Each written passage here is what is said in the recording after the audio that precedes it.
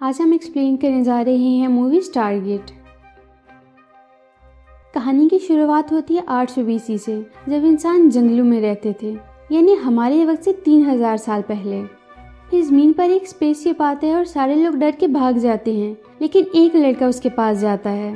Spaceship से नीली रोशनी निकलती है और वो लड़का गायब हो जाता है। फिर सीन शिफ्ट होता है 1928 में। मिस्र में कुछ पायरामिड्स हैं और लोग उसके आसपास की खुदाई कर रहे हैं। उन्हें बहुत कदीम और पुरानी चीज़ें मिलती हैं। एक पत्थर भी मिलता है जिसके नीचे मेटल का एक गोल शिलकर स्टारगेट है। यहाँ कैथरीन भी है जो कि इस प्रोजेक्ट के हेड की बेटी है।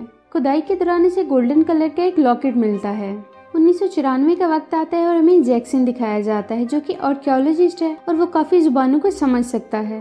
वो लोगों को बताता है कि मिस्र में जो पायरामिड्स है, वो इंसानों ने नहीं बनाए। कोई भी उसकी बात का यकीन नहीं करता। वहाँ कैथरीन आती है जो बूढ़ी हो चुकी है। और इस टारगेट प्रोजेक्ट की हेड भी है। वो जैक्सन को उस प्रोजेक्ट में शामिल होने की ऑफ़र करती है और वो मान जाता है। जैक्सन को उस बेस में ले जाते हैं जहाँ पुराने वर्ड्स के सिंबल्स हैं। उन्हें कुछ ही देर में सॉल्व करके सब वर्ड्स को इकट्ठा करके उनका मतलब बता देता है। वो पुराने सिंबल्स को समझने में बहुत एक्सपर्ट है। फिर हम कर्नल ओनील को देखते हैं कि जो अब इस प्रोजेक्ट के हेड हैं। वो कहते हैं कि यहाँ जो भी काम हो, उन्हें इसका इल्म होना चाहिए। जैक्सन का वो पत्थर दिखाया जाता है जिसके नीचे गोल शक्ल का स्टार गेट है। पत्थर के ऊपर जो साइंस होते हैं, वो उसे समझ नहीं आते। वो देखता है कि गार्ड न्यूज़पेपर पढ़ रहा है और इसके ऊपर स्टार की शेप्स हैं, जो स्टोन के ऊपर थी, उनको ओराइन बेल्ट कहते हैं। जैक्सन समझ जाता है कि ओराइन बेल्ट और इन पायरामिड्स का आपस में कोई ताल्लुक है। वो अपनी टीम को बोर्ड के ऊपर एक क्यूब ड्रा करके बताता है कि पत्थर के ऊपर कोई लैंग्वेज नहीं लिखी, बल्कि डायमेंशंस के बारे में लिखा है कि सिक्स डायमेंशंस हैं, जिनसे हम कहीं भी जा सकते हैं। वो बोर्ड के ऊपर सिक्स पॉइंट मार्क करता है। वहाँ एक आदमी से पूछता है कि सातवां पॉइंट कहाँ है? तो वो सेंटर में निशान लगाकर बताता है कि सातवां पॉइंट हमारी ज़मीन है, जिसे हम कहीं भी जा सकते हैं। वो इन सब पॉइंट को सेंटर से कनेक्ट करता है। पत्थर के ऊपर जो निशान होता है, उसे जैक्सन उन्हें समझाता है कि पिरामिड के दोनों साइड दो लोग हैं। इन लोगों का कोई काम नहीं है, बल्कि सेवंथ पॉइंट ये पिरामिड है। वहाँ एक आदमी कहता है कि डिवाइस पर तो सेवंथ पॉइंट नहीं है। फिर जैक्सन को लैब में ले जाया जाता है और वो टारगेट दिखाया जाता है। इसके ऊपर पायरामिड का निशान है। जब वो सेवंथ पॉइंट को लॉक करते हैं तो डिवाइस एक्टिव हो जाती है। उसके अंदर एक वार्म होल बन जाता है। वो लोग एक ट्रैकिंग डिवाइस भेजते हैं इस होल के अंदर, ताकि देख सकें कि इसके अंदर क्या है। वो डिवाइस एक दूसरे गैलेक्सी में चला जाता है, जो कि हमारे प्लेनेट अर्थ की तरह है। अगर वो उस दुनिया में जाएँ तो वापस आने के लिए उन्हें उन्हीं कोऑर्डिनेट्स की ज़रूरत होगी, जिस टारगेट के थ्रू वो उस दुनिया में पहुँचे थे। अगर वो पॉइंट्स को करेक्ट ऑर्डर पर ना लॉक कर सके तो वो हमेशा के लिए उधर ही फंस जाएँगे। दूसरी दुनिया की लैंग्वेज और साइन बिल्कुल मुख्तलिफ़ हैं। जैक्सन उन्हें कहता है कि मैं दोबारा ये कर सकता हूँ। कर्नल ओनल की टीम और जैक्सन को होल के अंदर भेजा जाता है। कैथरीन जैक्सन को वही गोल्डन लॉकेट देती है। जैक्सन और बाकी टीम इस होल के अंदर जाते हैं। वो लोग दूसरी दुनिया में पहुँचते हैं तो वहाँ भी एक स्टार गेट है। काफ़ी अंधेरा होता है। और जब वो लोग बाहर आते हैं तो उन्हें पायरामिड नज़र आता है जो कि हमारी दुनिया की तरह था। आर्मी की टीम वहाँ पर कुछ काम करती है और फिर वापस जाने का कहती है। जैक्सन कहता है कि पत्थर यानी टेबलेट के ऊपर जो निशान थे, उन्हें मार्क करके स्टार गेट एक्टिव हुआ था। उसी तरह का पत्थर हमें इधर भी ढूंढना है। इन निशानात को करेक्ट ऑर्डर में लॉक करके हम वापस जा सकेंगे, वरना हम नहीं जा सकते। वो लोग इस पर गुस्सा करते हैं, एक आदमी उसका बैग उठाकर दूर फेंक देता है। जैक्सन जब उसे उठाने जाता है तो उसे वहाँ पैरों के निशानात मिलते हैं। जब उनको फॉलो करता है तो उसे एक अजीब सा एनिमल नज़र आता है। वहाँ आर्मी की टीम भी आ जाती है। जैक्सन उन्हें कहता है कि ये पालतू है। और वो उस एनिमल के गर्दन पर तीन बार हाथ फेरता है और वो भाग जाता है। रस्सी में जैक्सन का पाँव फंस जाता है वो भी घिसटता हुआ साथ चला जाता है। जब वो लोग आगे जाते हैं तो उन्हें हमारी दुनिया की तरह के लोग नज़र आते हैं। ये लोग कबीले की तरह रहते थे। वहाँ कबीले के सरदार आता है और जैक्सन के गले में वही गोल्डन लॉकेट देकर उसके आगे झुक जाते हैं। सरदार उनको वहाँ ले जाता है जहाँ वो लोग रहते हैं। जैक्सन को वहाँ स्टार्ट गेट नज़र आता है, उसके ऊपर वही साइन था जो लॉकेट के ऊपर है। ये साइन इनके सन गॉड का है। वो लोग समझते हैं कि जैक्सन को उनके सन गॉड ने भेजा है। रात के टाइम वो सब लोग इकट्ठे होते हैं और जैक्सन को तैयार करते हैं। कबीले के सरदार अपनी बेटी को जैक्सन के पास भेजता है, लेकिन जैक्सन उसे ये सब करने से मना कर देता है। उस लड़की को पायरामिड के निशान से समझाता है कि वो लोग उससे यहाँ आए हैं। उसे ठीक से नहीं समझा पाता। वो लड़की उसे पायरामिड का निशान बनाती है उसके ऊपर सन का। वो उससे पूछता है कि तुमने इस जगह को कहाँ देखा? वो उसे उस जगह ले जाती है जहाँ निशानात और हाके बने हैं।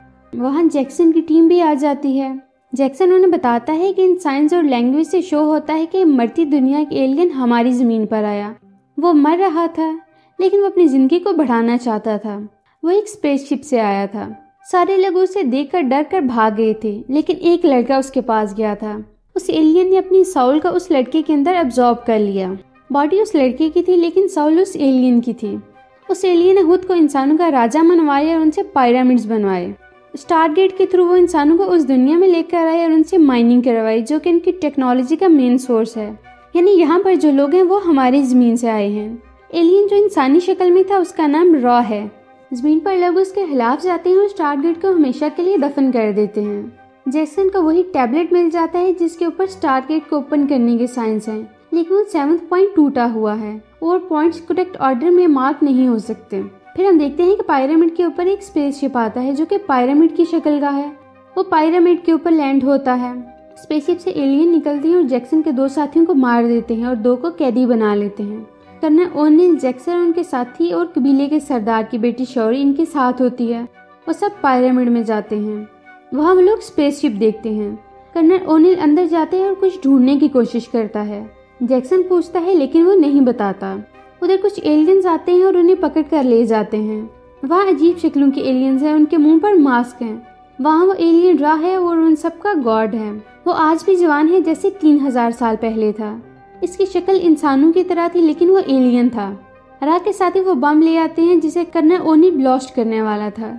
कर्नल फ़ायदा उठाकर वहाँ खड़े गार्ड का हथियार छीन लेता है और रॉ पर अटैक करता है। लेकिन रा के सामने बच्चे आ जाते हैं, वो हमेशा उसके साथ रहते हैं। रा बच जाते हैं, वो लोग कर्नल पर अटैक करते हैं। जैक्सन सामने आता है और मारा जाता है। इसके बाद वो लोग कर्नल ओनिल को कैद खाने में डाल देते हैं। रा इंसानों से गुस्सा हो गया था। पायरामिड से फ्लाइंग ऑब्जेक्ट्स निकलते हैं और इंसानों के कबीले पर अटैक करते हैं, जिससे काफ़ी लोग मारे जाते हैं। कबीले का सरदार समझ जाता है, इनका गॉड इनसे नाराज़ हो गया है। हम जैक्सन को देखते हैं जो कि एक बॉक्स से निकल रहा है। इस बॉक्स में किसी भी इंसान की बॉडी को डालकर ज़िंदा किया जा सकता है। जैक्सन अब ज़िंदा है। राव से कहता है कि जिस टारगेट के थ्रू तुम इधर आए थे, उसी के ज़रिए तुम अपनी ज़मीन पर वापस जाकर न्यूक्लियर बम को डिफ्यूज करोगे।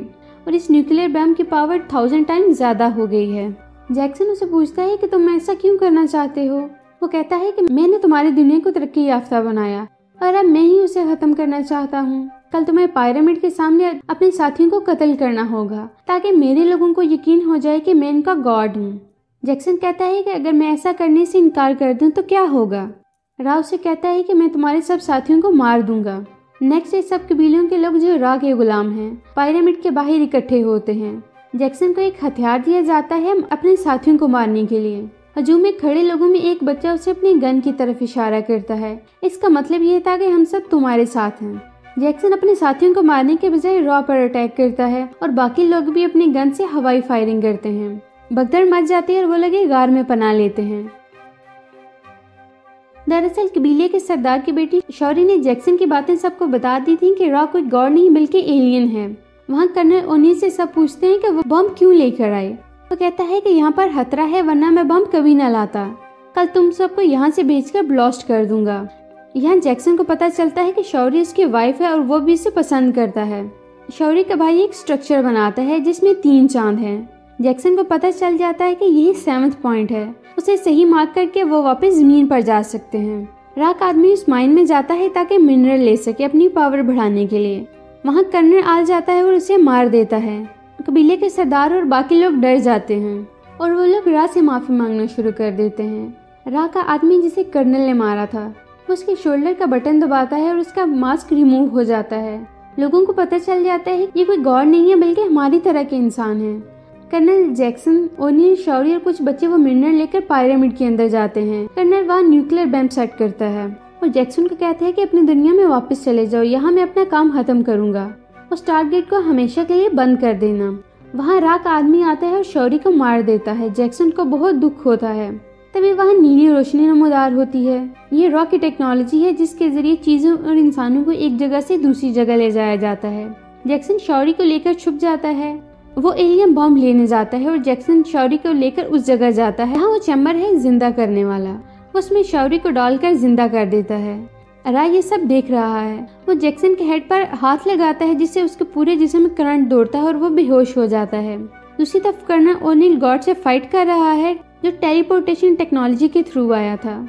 वो इस चैम्बर के नीचे उसे ले जाते हैं और उसके हैंड से बटन दबाकर इस टेक्नोलॉजी को ऑन करते हैं। वो इस पर अटैक करती है, जिससे उस गार्ड का सर ऊपर चला जाता है और जिसम वहीं रह जाता है। जैक्सन और शौरी नीचे आ जाते हैं। भाई, सब इंसानों ने धावा बोल दिया है। कर्नल ओनिल बम को रिएक्टिवेट करने की कोशिश करता है। राक को पता चल जाता है कि अब उसका आखिरी टाइम आ गया है। वो बम को एक्टिवेट करके अपनी स्पेसशिप से भाग रहा है। इस मरे हुए गार्ड की हैंड से वो टेलीपोर्टेशनल टेक्नोलॉजी का बटन ऑन करते हैं जो बम को ऊपर ले जाता है। रा को लगता है कि कोई इंसान ऊपर आ रहा है। ब्लास्ट होता है और रा मर जाता है। रा ने इंसानों पर बहुत जुल्म किए थे और अब सब लोग आज़ाद थे और बहुत खुश भी थे। वो स्टारगेट को ऑन करते हैं और वापस ज़मीन पर आने लगते हैं। लेकिन जैक्सन नहीं आता क्योंकि वो अपनी बीवी शौरी से प्यार करता है। वो कैथरीन का लॉकेट कर्नल ओनिल को देता है और बाकी लोग भी अर्थ पर वापस आने लगते हैं। और यहाँ पर ये मूवी ख़त्म हो जाती है। तो दोस्तों, कैसी लगी आपको हमारी आज की वीडियो अगर आपको हमारी वीडियो अच्छी लगी तो हमारी वीडियो को लाइक करें शेयर करें, हमारे चैनल को सब्सक्राइब करें, ताकि इस तरह के इंटरेस्टिंग वीडियोस आपको मिलती रहें।